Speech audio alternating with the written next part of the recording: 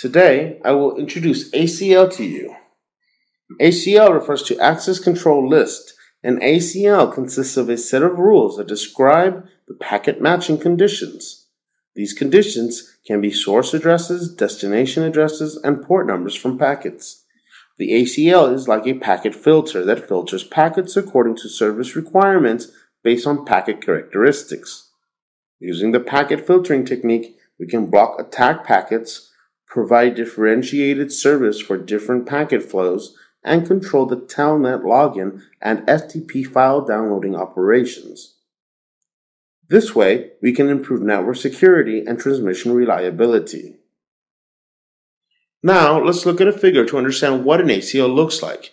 Each ACL has a number through which you can distinguish the ACL type. You can use the rule commands to set a series of rules for an ACL. These rules are the packet matching conditions. Each rule has an ID and contains a permit or deny action. Following the rule ID is the packet matching condition. Different types of ACL can have different condition combinations. As shown in the figure, ACLs are classified into basic, advanced, layer 2, user defined, and user ACLs. Each ACL has a specified ACL number range. For example, ACLs 2000 to 2999 are basic ACLs.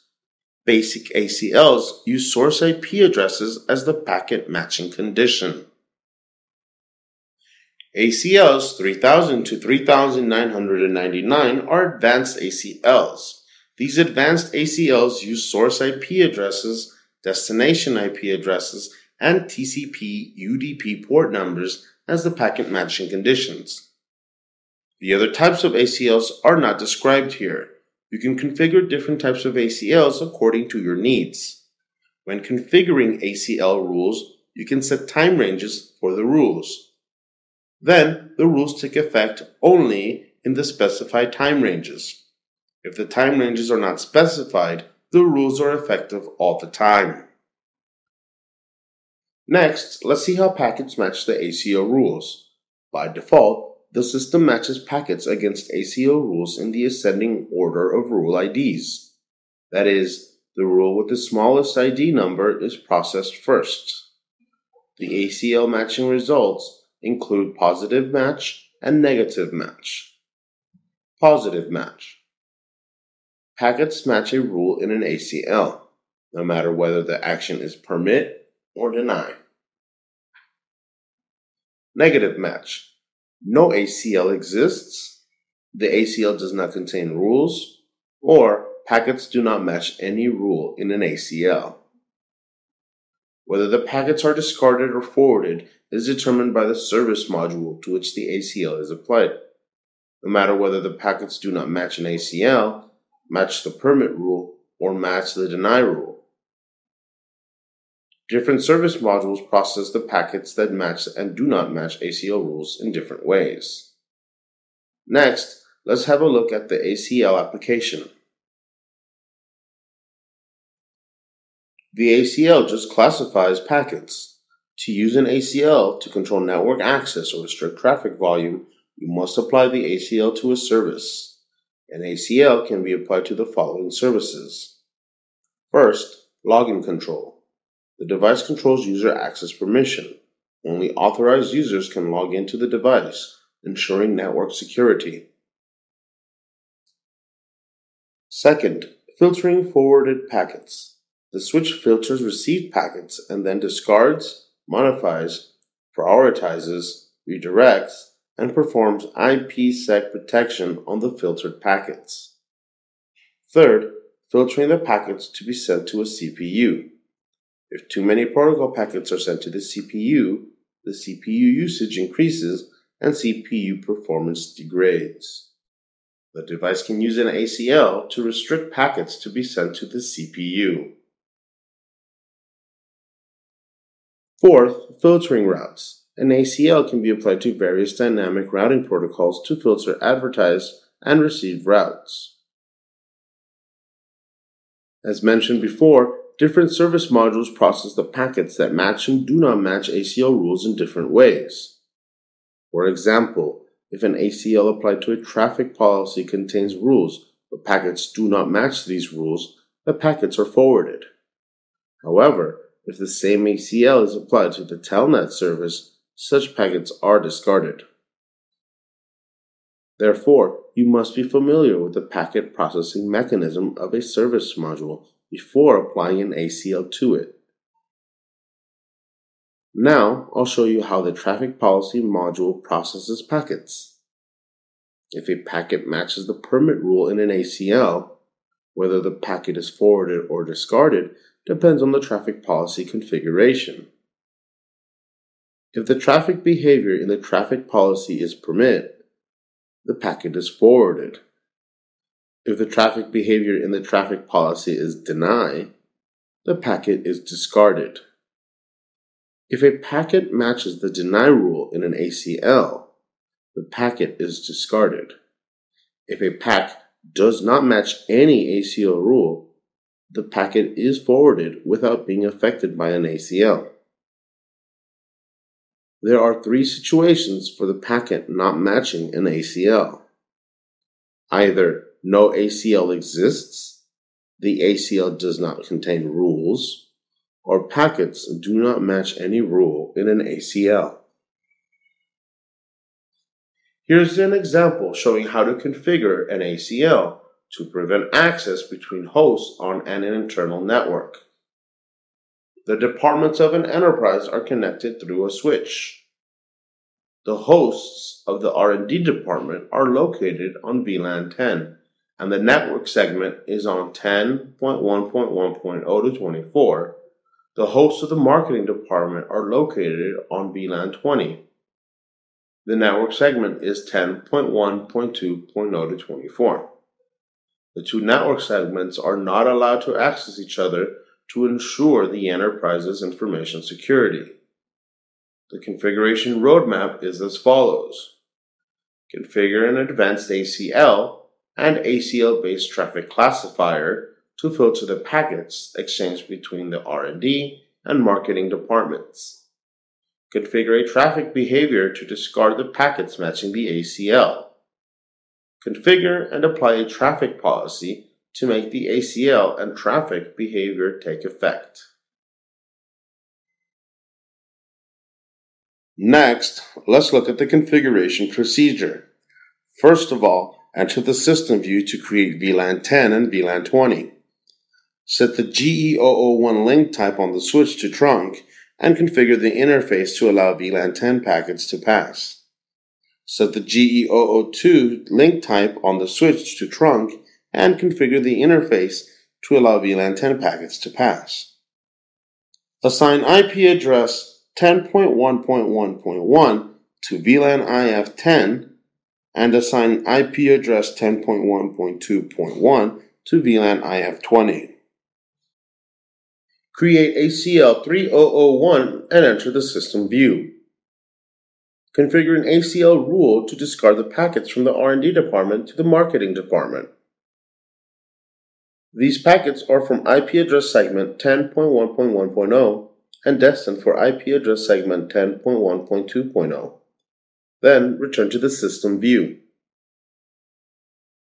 After that, create ACL 3002 and enter the ACL view. Configure an ACL rule to discard the packets from the marketing department to the R&D department. These packets are from IP address segment 10.1.2.0 and destined for IP address segment 10.1.1.0. After that, return to the system view. Configure the traffic classifier TC1 to classify packets that match ACLs 3001 and 3002. Return to the system view. Configure the traffic behavior TB1 to discard packets. Return to the system view. Configure the traffic policy TP1 in which the traffic classifier TC1 is associated with traffic behavior TB1. Then return to the system view.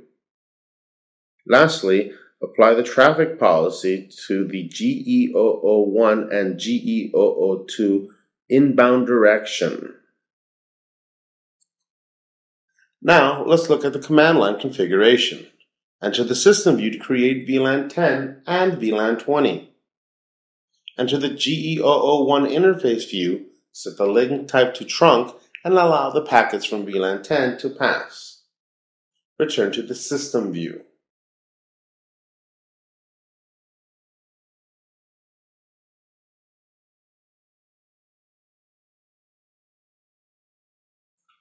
Enter the GE002 interface view, set the link type to trunk, and allow the packets from VLAN 20 to pass.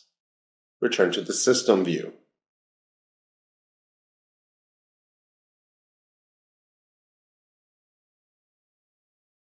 Enter the VLAN IF10 interface view and assign IP address 10.1.1.1 to the interface. Return to the system view. Enter the VLAN IF20 interface view and assign IP address 10.1.2.1 to the interface. Return to the system view.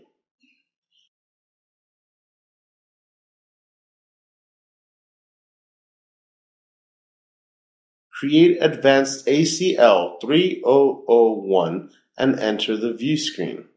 Configure an ACL rule to discard the packets from the R&D department to the marketing department return to the system view.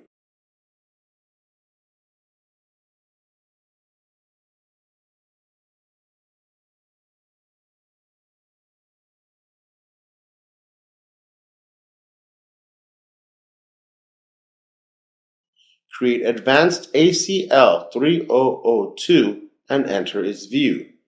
Configure an ACL rule to discard the packets from the marketing department to the R&D department. Return to the system view.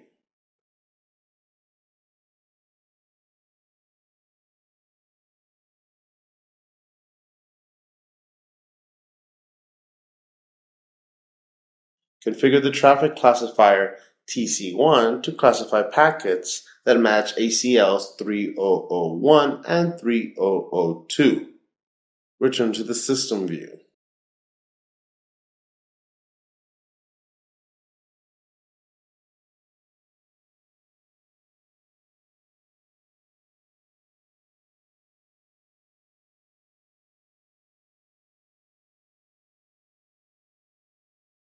Configure the traffic behavior TB1 to discard packets. Return to the system view.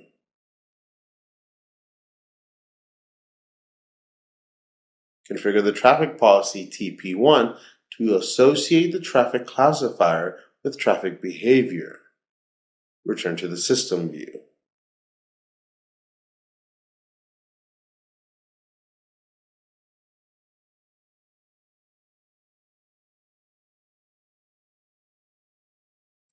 Enter GE001 interface view.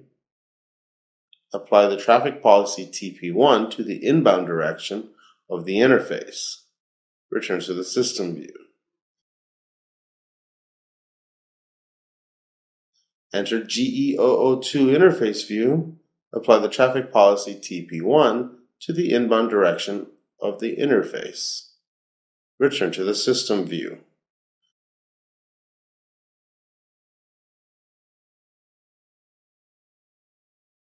Now run the display ACL command to view configured ACL rules. Run display commands to view traffic classifier and traffic policy configurations. The network segment where the R&D department and the marketing departments reside cannot access each other.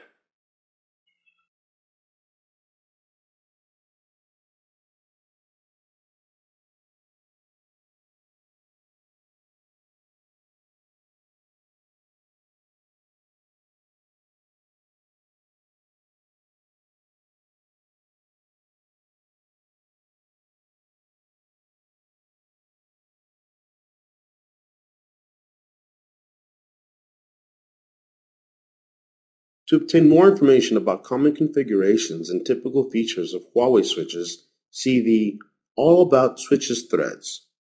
Where do you find these threads? Using Google search, type in All About Switches site colon Huawei.com in the search field and click any of the displayed links to enter the Huawei Enterprise Support community.